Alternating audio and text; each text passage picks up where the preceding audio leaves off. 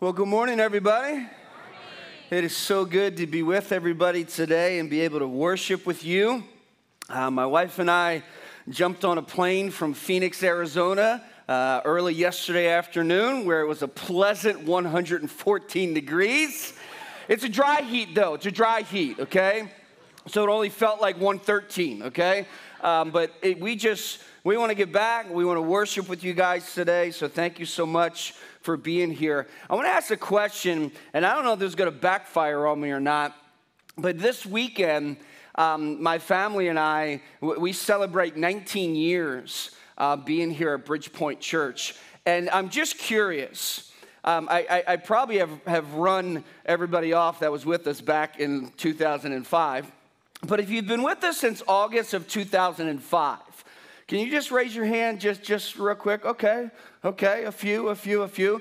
Can I just say thank you to those of you who are raising your hand? Thank you for putting up with me, okay, for 19 years. Um, thank you for the grace and the mercy uh, that you have shown me uh, since day one uh, of being here. And uh, just wanted to say thank you for sticking with us. And uh, the, the Lord is doing some amazing things uh, in and through Bridgepoint Church, and uh, we're so thankful for that. And we're thankful for all of you who have joined us along the way. Um, some of you recently, some of you maybe not back in August of 05, but sometime since then. And uh, just want to say thank you so much for your faithfulness to God's house. So today we're going to continue on in this series we're calling Summer in the Psalms. And um, I, I want to encourage you, if you have a physical Bible, to turn to Psalm chapter 100. Psalm chapter 100 is where we'll be this morning. And this book of Psalms is a very, it's a very personal book. Like this book is filled with so many emotions and so many thoughts that cover like the entire spectrum. Like in, in, in some verses, you read the psalmist saying that, you know, Lord, I, I, worship you and I praise you and, and I thank you for your faithfulness. And then, like in a, the very next psalm, the, the psalmist says, Why have you forsaken me? And why don't you care about me? And why do you hate me? And, and then, but just a few verses later, that same psalmist will say, but I still trust in you because you're good and because you're faithful. But, but the emotions are all over the place and the thoughts are all over the place. It, it kind of reminds me of, like a toddler, right? Where, where the toddler is just having an absolute meltdown because a sibling just simply walked by the tower that they were creating and then, like within minutes, with tears in their eyes, and they're just still crying while eating ice cream, right? Hey, this is so good, right? Just the emotions are just all over the place. And this is kind of what we see here all throughout the book of Psalms. There are times where the people are rejoicing and praising God and thanking God.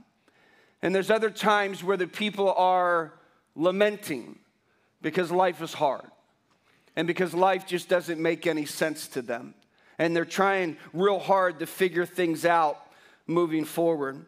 There's sometimes where, where people are singing praises to God, which we're going to look at today.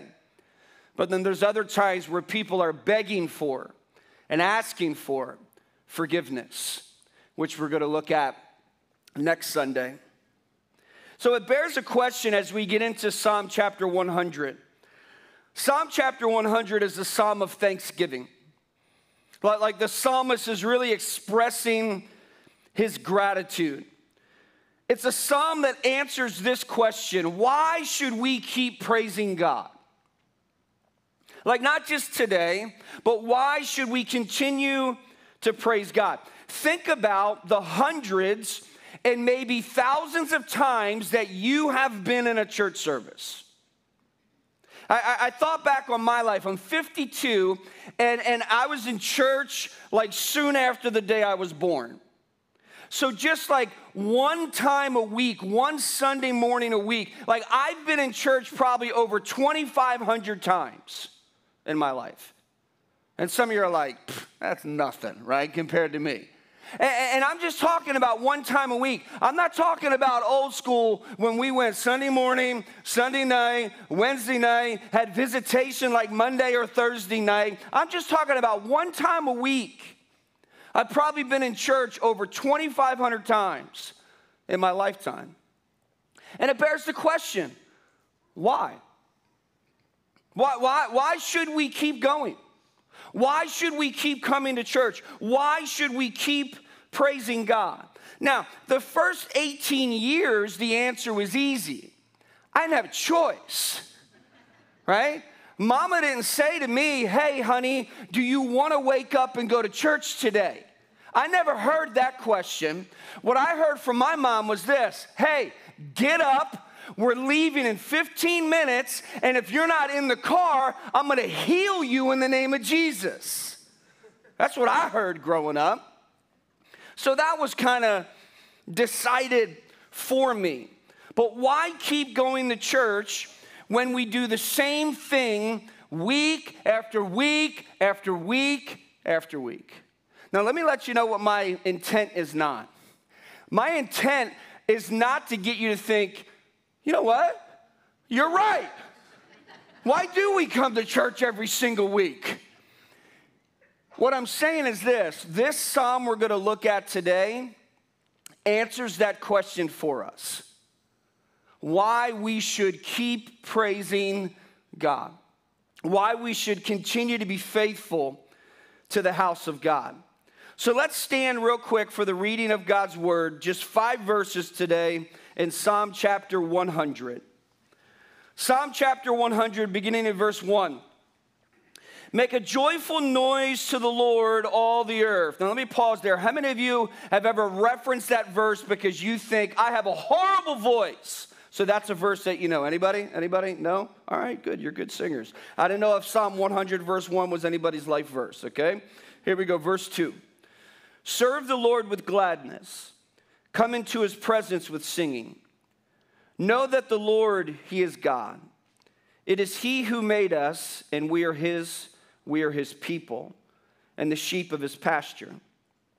Enter his gates with thanksgiving and his courts with praise. Give thanks to him. Bless his name, for the Lord is good. His steadfast love endures forever, and his faithfulness to all generations. God, I pray that you would bless our time together today. God, I pray that you would take possibly a very familiar psalm and, and would you open our eyes to something new? May, may something fresh resonate in our hearts today that maybe we haven't seen before from this particular psalm. So, God, please bless our time together as we study your word and we will give you all the honor and glory and praise for everything that takes place. We ask all these things in your Son's precious name. Amen. Thank you so much. You may be seated. Now, there's a couple different things here in the text that really prompt us to always come back to grateful praise. We need to always come back to grateful praise. And if you look at the text, you see that the text is really broken down into two sections. Excuse me, verses 1, 2, and 4 are going to show us this call to response. That to, respond, that we're called to respond. And then verses 3 and 5 are going to give us the reasons why we should do that. So here's point number one we are all called to respond to the Lord. Look at verse 1 again. And, and, and please understand, like the last couple weeks, there's only five verses. We're, gonna, we're not necessarily going to go in order, but we're going to kind of jump around a lot between these five verses. But verse 1 again make a joyful noise to the Lord, all the earth. Now, a couple observations from that verse. This pouring back of our praise should be made how? With joy. Well, like we should be doing this with, with, with a heart of joy, a heart of gratitude.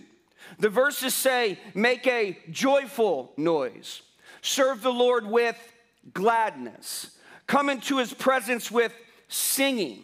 What are those things? those are all things that we should be doing. Those are action things that, that should be found in our life. Look at the beginning of verse 5 again. For or because, why? The Lord is good. So, what we see here is there's a response and there's a reason for it. There's a response and there's a reason for it. God wants us to respond to Him with joy. Like our response to God should be coming from our heart, it proceeds out of our mouth, and it should be a response that is filled with joy. It's also meant to be a purposeful response. Look at how many different words in this psalm are action words, right? Make a joyful noise, serve the Lord, come into his presence Enter his gates with thanksgiving. Give thanks to him. Bless his name. Right? those are all action steps. Those are things that should be done on purpose and for a purpose.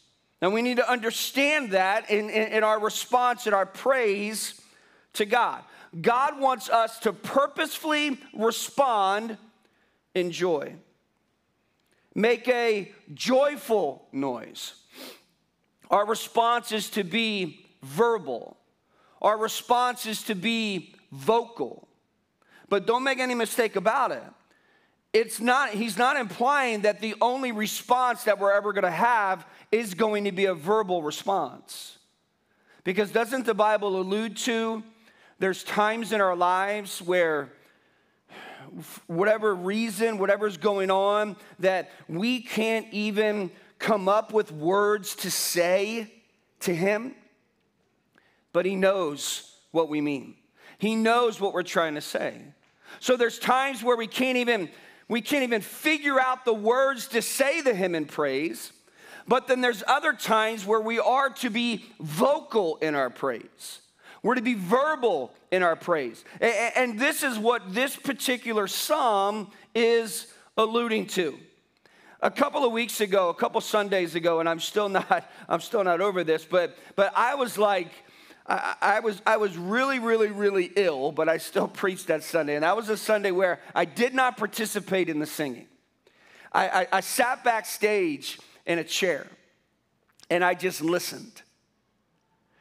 And I didn't know who was singing and who wasn't singing. I didn't know who was singing good and who wasn't singing good. The only thing I heard from back there was this massive volume of praise to God. And folks, let me tell you, it was a beautiful thing. It was a beautiful thing to listen to. It was a beautiful thing to be able to hear. Now, the psalmist is saying that there should always be this joyful noise that's rising up to the Lord. That there should be so many people singing that there is just this massive volume that's filling a room. Whether it's some of you, many of you were there. Whether it's 13,000 people gathered together on a Thursday night in Little Caesars Arena, or whether there's 400 people gathered in two services at Bridgepoint Church. Like there should be this massive volume that fills the room of us singing praises to God. Now, let's also see this this verbal and vocal response is directed somewhere, right? Where does it go? It's pointed to the Lord, it's pointed to a recipient. Look, at the verses again. Make a, make a joyful noise to who? To the Lord. Serve who? The Lord. Come into his presence. Enter his gates. Give thanks to him. Bless his name. But don't miss this. Do you see the end of verse 1 there? Make a joyful noise to the Lord. Who? All the earth. So it's not just the community of faith that God wants praise from, but anybody who God creates, God wants praise from that person. All the earth should be making a joyful noise to the Lord. God desires that everybody worship him. He desires that everybody would praise him. And not only does he desire it, but the text is going to show us in a little bit that he deserves it. He deserves our praise, he deserves our worship. The psalmist now begins to unpack how we should respond. Look at verse 2. Serve the Lord with gladness, come into his presence with singing. Now, this idea of service, it doesn't show up anywhere else in, in this psalm. Like, this is the only reference to the service aspect. But it is stating that not only do you respond to the Lord through singing, but we also are to respond to the Lord through service, through what we do. Now, what serving look like to the people that this is being written to, they would look at serving a little different than we would today. We look at serving as, you know what? I'm going to use my giftedness and I'm going to bless somebody, right? I'm going to help somebody out. I'm going to help the church out. And, and, don't get me wrong, that's true, okay? But when you play a part and you serve, the people in the ministry of Bridgepoint Church, you do help the ministry of Bridgepoint Church. But we view serving as an activity. The people that this psalm was written to, they view service as their identity. Not necessarily something that they did, but it represented who they were. It was their identity in Christ. They, they identified themselves as servants of God, therefore, they did what?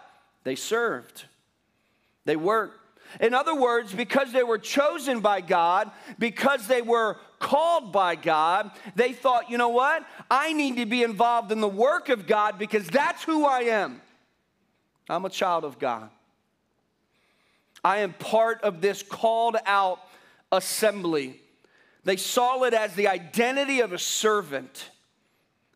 The community of faith in our psalm would understand it to mean this way service equals obedience. Service equals obedience. Service equals work. Serving equals worship. Serving equals sacrifice. They would have put more emphasis on serving, not necessarily in what they did, but who they were. It's how they identified as being children of God. There's a phrase in, in one of the verses that says, Serve the Lord with gladness. In other words, live it out. Live it out, man. Don't be embarrassed by it. Don't be ashamed of it. Don't try to hide it. If you've said yes to Jesus, you're a child of God. Live like it. Live like it. Like, be proud of it, embrace it, embrace who you are in God. Serve the Lord. Now, some of you are thinking right now, all right, I know this is going to happen. I know good old Pastor Craig is going to like make his plea that he makes every once in a while, and there's going to be a plea for me to be me to be made feel guilty to go serving Kids Point and everything like that. Well, yes and no, okay? because we always need help. We, all, we, need, we always need help across the board. But I, I want you to understand something about serving. Yes, the church benefits from serving. But do you know who else benefits from serving? The person who is serving, the person who is doing something. But, but don't be mistaken into thinking incorrectly. Because serving is not limited to the local church, right? Like, if your mindset is, you know what? man I, am just gonna i'm gonna bless these people and i'm just gonna use my giftedness and you know what? I'm just gonna bless everybody's socks off and man i'm gonna be so helpful. If, if that's your idea of service then your definition has been restricted. If that's all you think about when it comes to serving. If you view serving as as a chore right like ah, i don't really want to but i guess i have to well, I think your definition of serving is restricted, it's, it's limited here. Now, from this passage of scripture, service is not just an activity, it, it's a means of responding to the Lord. What if you thought about it that way? But you know what, man, I need to get plugged in, right? I, I need to serve, I need to get involved. And, and, it's not even, you know, something that you do per se in regards to serving, but in your mind, you're, you know what? I'm responding to God because, man, He is God and He is good. Like, what if that was your mindset? When it comes to serving the Lord. Now, where's all this coming from? Where's all this supposed to come from? Our heart. All of it's supposed to come from our heart. That this, this joy and this gladness and, and this thanksgiving and gratefulness all of it is to come from our heart. Serving here in verse 2 is the only time it's mentioned in the entire psalm. Everything else references singing or praising God. So let's understand the context of the psalm. The overall context of the psalm is worship. But what the psalmist is trying to stress is that, you know what? Yes, you can worship through singing, and yes, you should worship through singing, but do you know how else one can worship? Through serving. Through serving. It's not just singing, and it's not just serving, it's both. So, because I see my identity as the Lord's servant, my response in worship is going to be that of singing and serving. And that's how I choose to respond to the Lord. Let's keep looking at the text. The rest of verse 2 says this Come into his presence with singing. Verse 4 Enter his gates with thanksgiving and his courts with praise. Now, you read those two verses, you're like, what is this coming into stuff? Like, what is this entering into stuff? This is Old Testament temple language, right? And that's who the audience is, that's who it's being written to. If, if one were to come to the temple to worship, what did they have to do? They had to come in through the gates and they had to enter into the courts right? They, they, didn't go into the Holy of Holies, they didn't go into the holy place. Most of their singing what, what took place out in the courts. Now, when you came to church this morning, I, I know you walked through a door, like don't be a smart aleck or anything, but you didn't have to walk through gates. Like our auditorium doesn't resemble a temple court. But this is where our praise and our singing corporately takes place. You know why? Because the book of Hebrews makes it clear that it's through now for us, not necessarily in writing this psalm, but now for us, we come into the presence of God. How? Through his son, the Lord Jesus Christ. We, we don't necessarily, it's not about worshiping in this temple or that temple, and those are the only places where the Lord's gonna be. Isn't that what Jesus told the, the, the lady at the well? right? It's not about worshiping on this mountain. It's not about worshiping in that temple, but because I Himself, because Jesus has come, now you can have access to God anywhere. And this is what the book of Hebrews stretches. So we need to take the Old Testament language and put it into New Testament context. As for God's people, we are to respond to God, and we respond to God through who? Through His Son, the Lord Jesus Christ. We, we have, if you've said yes to Jesus, think about this. If you've said yes to Jesus, you have full access to the God of this universe through his son. Through his son, the Lord Jesus Christ. What an incredible thought to consider. It's not about worshiping in a certain place, although we want people to come and gather and worship in a certain place. What I'm trying to stress is this the scripture calls us to a response. And sometimes that response is singing. And other times, according to the text, that response is serving. Look at verse 4 again. This singing, this praise, this entering his gates, it is done how? With thanksgiving. We have thanksgiving in our hearts. The entire psalm is, is a psalm of gratitude. He's just expect, he's expressing his gratitude. Our serving should be grounded in gratitude. Our singing should be grounded in gratitude. You know, growing up, when my parents would, would ask me to do something or tell me to do something, all the time growing up, my response was, Oh, yes, mother, it would be my pleasure to do so. I didn't work at Chick fil A, folks, okay? That was not my response. Most of the time, my response was what? Why? Why? Like, do this. Why? Like, I, they, they could have been saving my life from something happening. And before I would listen, I'd say, Why? Right? Tell me why. We always want to know why. So in our text, we are called to respond. Why? Why? Why do we need to respond? What reasons do we see here in our text? And verses 3 and 5 are going to provide the reasons why. Verse 3 Know that the Lord, He is God. It is He who made us, and we are His.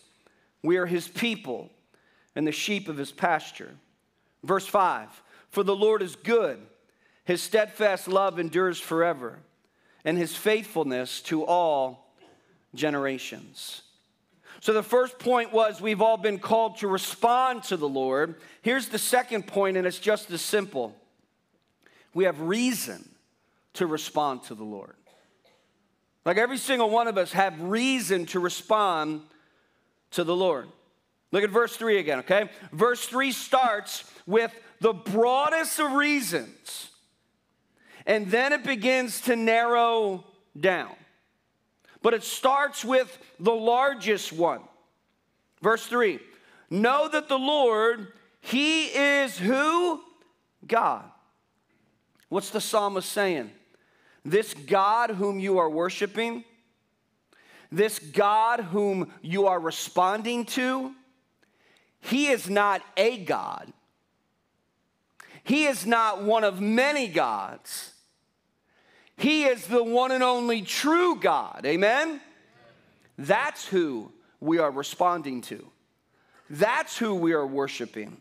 That's who we are praising. You know, what's interesting is the fact that the Egyptians had an entire system of gods. The Greeks had an entire system of gods. The, the Romans had an entire system of gods. The Israelites were monotheistic. What does that mean? Their belief was in one God. The, the Egyptians and the Greeks and the Romans, they were polytheistic. What does that mean? They had a belief in many gods. But you know what's interesting? Is, is, the Greeks and the Egyptians and the Romans, even though there were many gods, there was still one God that was more important than the other gods.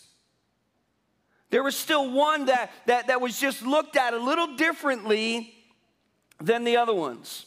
For the Egyptians, it was the sun god. For the Greeks, it was Zeus.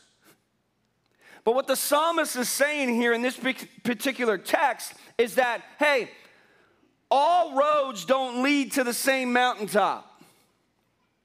Like, there is one God, there is the God at the top of the mountain that as an Egyptian and a Greek and a Roman, you're not going to find that by worshiping your gods. Like, He is the God. It is He who made us, and we are His. We are His people and the sheep of His pasture. The author is starting with, with the greatest reason why you should worship God and respond to God in worship is simply this because He is God. End of, end of sentence. end of statement. Like, that is the greatest reason why you and I should respond to Him in worship because He is the God. But what else is He? Because we said he, the psalmist starts with the broadest of reasons, but then he lists some other things as well. We should also respond in worship because he is the creator. So, why should people be praising God? Because he's God and because he is the creator. The verse said, It is he who made us, and we are his. So the psalmist is saying that you have every reason to respond to God because He is God and because you are His. You belong to Him. You were created by Him. Therefore, our only response should be praise, should be worship. Why? Because He is God. Why? Because He is Creator. But don't miss the other part of that verse and they belong to him. And because they belong to him, they need to respond to him. So if you've said yes, right, to Jesus, if you've said yes to God and you belong to God, guess what? We need to respond to him. Like we are called to respond to him. Think about this every single wrong worldview starts with someone denying God as their creator. Because if God is their creator, then that means they belong to Him and they need to respond to Him. So they try to deny God as being the creator because they don't want to belong to anybody in this wrong world view. Why should we respond to God? Because He is God because he created us. And also, I want you to see from the text because he is our shepherd. He's our shepherd. We read, We are his people and the sheep of his pasture. This shows the personal side of God. Like the first couple of verses talked about God's sovereignty. But now we see the personal aspect of God, things like caring and protecting and leading. So, for those of us who are in Christ, we've said yes to Jesus. According to John chapter 10, Jesus is our good shepherd. And when you read that passage of scripture, it talks about how what? That the shepherd know the sheep and the sheep know the shepherd. That the shepherd calls them by name and they come. Why? Because they're familiar with his voice. You cannot be familiar with the voice of someone that you aren't familiar with. But this chapter shows us the personal aspect of God being, of Jesus being our good shepherd.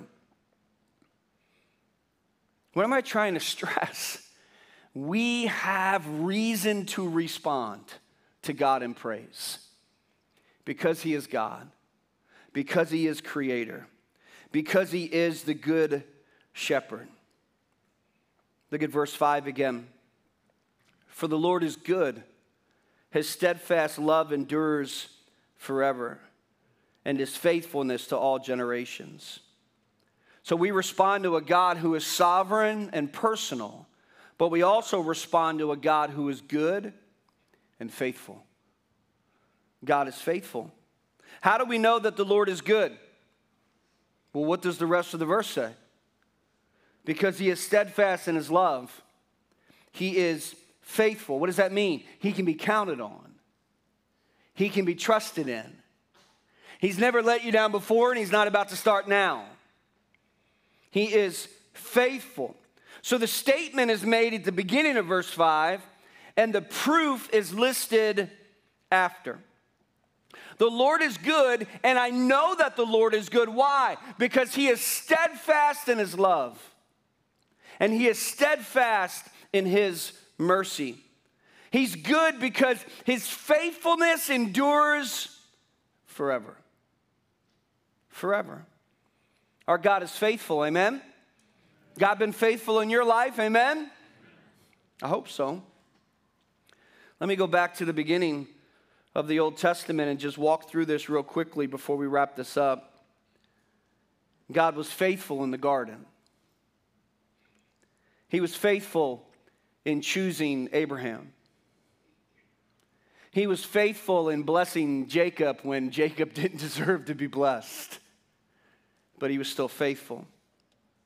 He was faithful in protecting and using Joseph when, when his brothers sold him out. He was faithful to call and to use Moses. He was faithful to sustain Joshua and the judges. God was faithful in blessing through David and Solomon. God was faithful in speaking through the prophets. He was faithful to reestablish through Ezra and Nehemiah. Now, don't miss this, because by the time we get to the New Testament, we get to the mountaintop of his faithfulness through the person and the work of his son, the Lord Jesus Christ.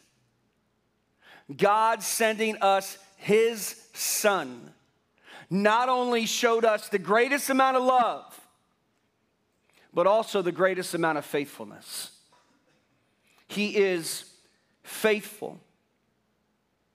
What do we see all throughout the pages of God's Word? Our God is faithful, amen? He's faithful. Not only does He desire us to praise Him, He deserves us to praise Him because He is God, He is Creator, He is the Good Shepherd. He is faithful in everything that He does. So verses 1, 2, and 4 call us to a response. And verses 3 and 5 give us a list of reasons to do it and to continue to do it. So I hope today that you don't leave here thinking, man, why do I go to church every single Sunday? But I hope you leave here today knowing that's why I go to church every Sunday. That's why I'm faithful to the house of God and faithful in worshiping God because He is faithful. As we transition into this time of communion, this first Sunday of the month, can I just encourage us all to do so with an attitude of gratitude? I mean, that's what the, that's what the psalm is emphasizing here. Can we just express our thankfulness for everything that God has done for us through his Son, the Lord Jesus Christ? Before we partake of the elements today, can we just reflect on the goodness of God? Can we just reflect on the faithfulness of our God? I mean, God loved us so much that he did what? He gave he gave. He loved us so much that he gave his only begotten son. He sacrificed his perfect son so that we would have a chance to have our sins forgiven and spend an eternity in heaven with him one day. Folks, God is just that good. And he loves us that much. Before we partake of the communion elements, I just want to reread this psalm that we've looked at today. This psalm of thankfulness, this psalm of gratitude. And maybe these verses will mean a little something different to us now. It says, Make a joyful noise to the Lord, all the earth. Serve the Lord with gladness. Come into his presence with singing. Know that the Lord, He is God. It is He who made us, and we are His. We are His people and the sheep of His pasture. Enter His gates with thanksgiving and His courts with praise. Give thanks to Him. Bless His name. Why? For the Lord is good. His steadfast love endures forever, and His faithfulness to all generations. Can I just encourage you to bow your head and close your eyes? And let's just have a time of reflection this morning. And let's reflect on the goodness of our God before we partake of the elements today.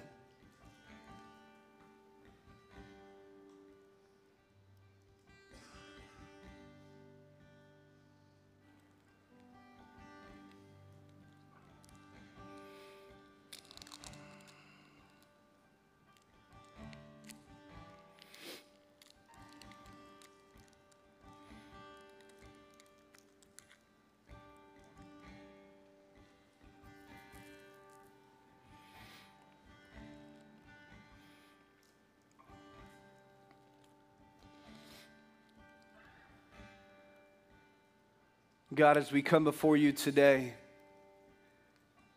we come with a heart of thankfulness to you because you are God and you are good. God, thank you for loving us as much as you did by sending your Son, the Lord Jesus Christ, to pay a penalty for sin that we couldn't pay ourselves. God, thank you for your faithfulness. Thank you for your love that never runs out. Thank you for your mercy that continues to be shown to us on a daily basis. God, I pray that there would not be one person here today who would leave not knowing why we should be responding in praise to a faithful God.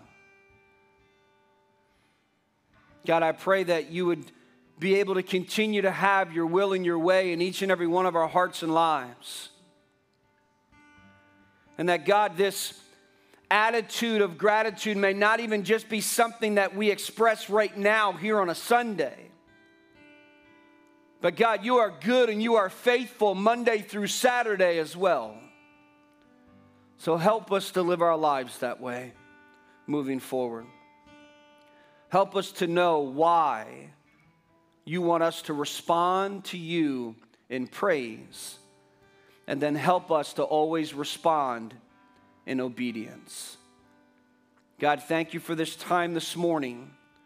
Thank you for communing with us. Thank you for being with us through, your, through the Holy Spirit of God. God, please have your will and way in our lives. We ask all these things in your Son's precious name. Amen. The Bible says that after they'd given thanks and, and prayed, that they ate the bread together. So let's all eat together at this time.